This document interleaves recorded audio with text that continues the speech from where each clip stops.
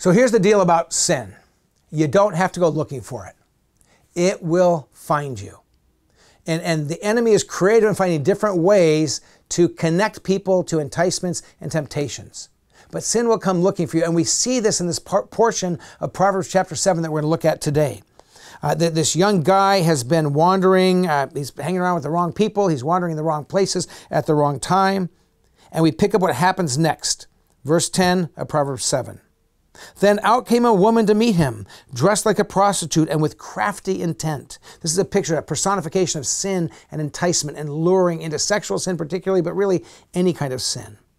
It says she's unruly, she's defiant, her feet never stay at home, now in the streets, now in the squares, at every corner she lurks. She took hold of him and kissed him, and with a brazen face she said, Today I fulfilled my vows. I have food and for my fellowship offering at home, so I came to meet you. I looked for you and I found you. Did you get the picture?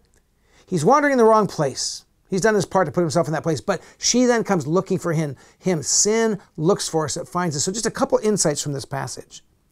Sin is hunting us down. Be careful. Be aware. And know the kind of sins you tend to fall into, because the enemy knows the kind of sins you tend to fall into. Sin dresses up to look pretty. This personification of sin is not about a woman tempting a man. It's about sin tempting any person. But the sin is dressed up and looking good, and sin will look good even though it's poison. It's, the proverbial poisonous apple. Looks good on the outside, deadly on the inside. The sin sneaks up, it lurks. And so, and this is not about being paranoid every moment of every day. Where's, where is sin? Is it around the, any corner? It's just living with an awareness that we have a tendency to be drawn towards sin, and the enemy is always active in trying to entice us. So be ready. Sin makes the first move. He's in the wrong place at the wrong time, but sin grabs him and kisses him on the face. Sin comes after us. Be aware of that. Be prepared for it. Be ready to fight back. And then sin speaks out. Sin says, Hey, come on in. The water's good. It's going to be wonderful. We won't get caught. That comes more later in the passage. But for our purposes today, to realize that we don't have to go hunting for sin, it will come looking for us. So here's what I want to encourage you to do to just pause for a minute and think where do I tend to be tempted? And what ways do I tend to be drawn into sin and fall? You know better than anyone except for Satan and God. You know where you're tempted. And here's the challenge be prepared. Be ready to stand against those temptations. If you struggle with addiction to alcohol, if you struggle with taking one drink and you can't stop yourself, then catch yourself before you start. If you, if you struggle with an addiction to pornography, then don't start watching things that are tame and okay, but they're danced on the edges because you know, boom, boom, boom, like dominoes, they start falling, and all of a sudden you find yourself in a place you don't want to be.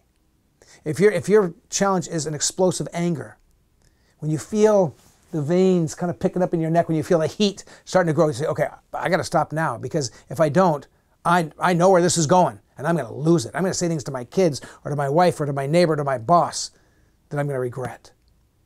Understand that it's a battle, but in the power of Jesus Christ, you can stand strong. We're not slaves to sin anymore for followers of Jesus, but sin, sin still comes knocking on the door. Be ready to stand against it. God, this is our prayer that we would know you and your freedom and your truth, that we would thank you, Jesus, for conquering sin and death and hell and the enemy. But that we would also humbly acknowledge that we still feel that enticement. Help us recognize when sin is starting to creep in and help us to cut that off before we go down the road that breaks your heart and our hearts and our lives.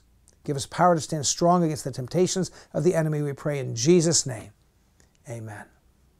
Well, God's blessings on you. Have a great day. If you're part of Shoreline Church, we gather for worship at 9 and 11. Hopefully, we'll see you this Sunday on campus or online. If you're part of another church, be part of the family of God.